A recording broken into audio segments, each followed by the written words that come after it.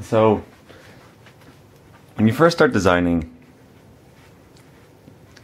look at this 3x3. See the line that's drawn on it? It's perfectly in half. So, if you were to take this 3x3 and in an imaginary space, you were to slice it perfectly along this line, so the cube was cut in half, what would you see? Well, um, this is a good opportunity to stop and draw what you think you would see if you did if you cut Rubik's cube. So stop right now, draw on a piece of paper where you can see it, because I'm about to show you what you would see. So this here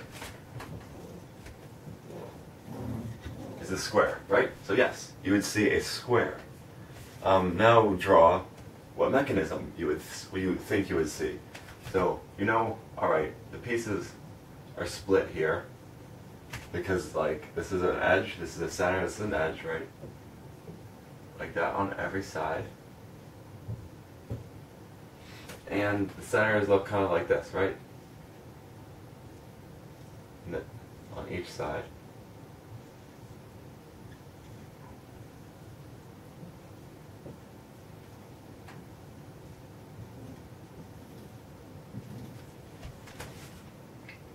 That's what you would see. You can see how this kind of corresponds with an edge and this kind of corresponds to the center. You can pop open a Rubik's Cube and look at it if you're having trouble seeing that. Um, basically, that is what we call a cross section. Um, but when you're designing a Rubik's Cube, you don't design that whole thing. You're just designing like a little portion of that. Um, I'll show you here. Just what you need. You don't need any of this.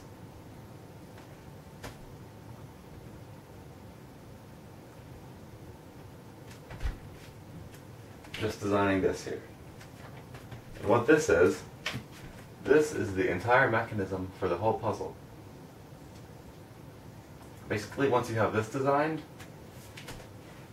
what you're doing is you're going to take this, right, and because we know a Rubik's Cube turns in a circle, and it's a rotating motion. So when you have something rotating, like a wheel, a wheel kind of rotates around um, like an axle. An axle is circular.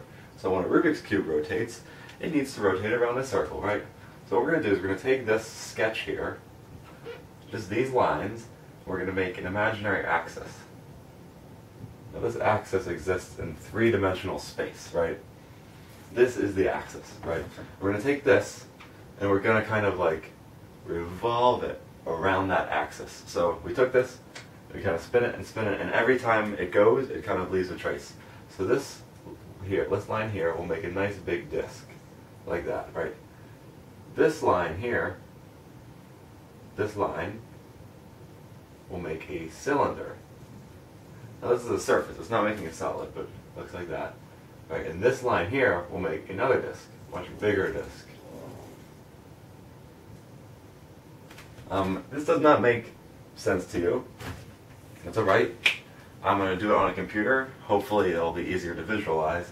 But this is the basic process. You take this one basic sketch here, and you revolve it around the face.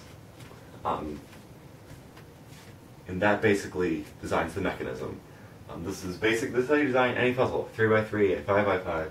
Um, it's just different cross sections for different puzzles, and the more you work with puzzles, the more you'll start to know which cross sections to pick.